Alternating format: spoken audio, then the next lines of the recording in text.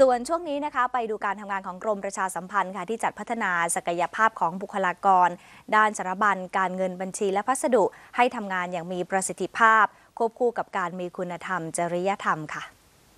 นายจรุนชัยสอนรองอธิบดีกรมประชาสัมพันธ์ เปิดการฝึกอบรมหลักสูตร การเสริมสร้างประสิทธิภาพ การปฏิบัติงานด้านสารบัญการเงินบัญชีและพัสดุรุ่นที่ 4 ระหว่างวันที่ 28 กรกฎาคมถึง 1 สิงหาคม ที่สถาบันการประชาสัมพันธ์ เพื่อพัฒนาศักยภาพการทำงานให้กับข้าราชการ ลูกจ้างประจำและพนักงานราชการในกรมประชาสัมพันธ์ ได้ทำงานอย่างมืออาชีพ และเรียนรู้กระบวนการวิธีการปฏิบัติงาน รวมทั้งแนวทางการแก้ไขปัญหาต่างๆ ที่เกิดขึ้น